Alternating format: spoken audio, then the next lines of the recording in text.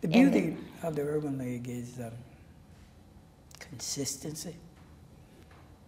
You know, so we didn't go through a big dip or a big change because Whitney passed.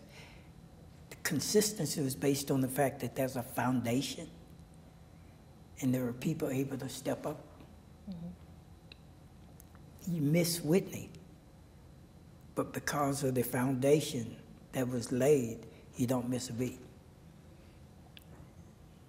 And that's, that's, that's, that's what has contributed to our sustainability.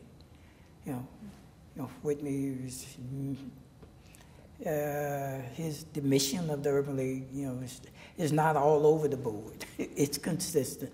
You know, our mission is to talk about you know equal opportunity for African Americans and other similarly disadvantaged people. Sim- simple. Mm-hmm. And, and you don't let uh, somebody come in with a new uh, flavor of the month idea and change that. Mm-hmm. You know, you, consistency.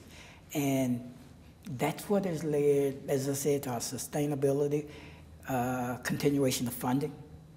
Because you know we depend on the government for funding for our projects. We depend on philanthropy for the funding of our projects.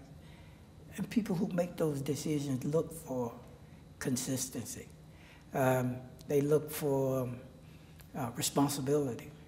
Uh, they look for you know, an organization that, that will give a return on the investment that's made in them. And those have been the hallmarks.